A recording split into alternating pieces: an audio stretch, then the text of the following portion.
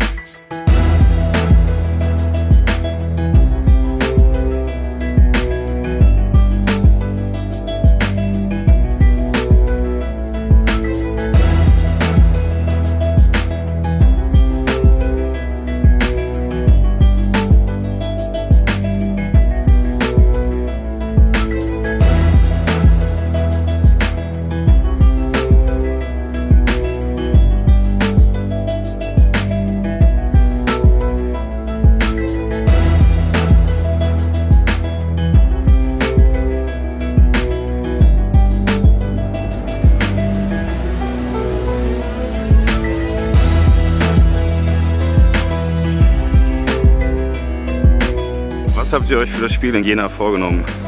Wir haben uns natürlich eine Menge vorgenommen. Das ist im Prinzip das gleiche wie in Oberhausen. Wir wollen wieder gut stehen und hoffen, dass wir dann über Gübe oder über unsere schnellen Leute noch einen Konter fahren können. Was sagst du zum neuen Bus, wenn du jetzt hier so siehst? Ja, der ist jetzt gerade in meinem Rücken, glaube ich. Ne? Ich ja. einfach mal um. Ist auch sehr gut geworden. Die Aufkleber und alles.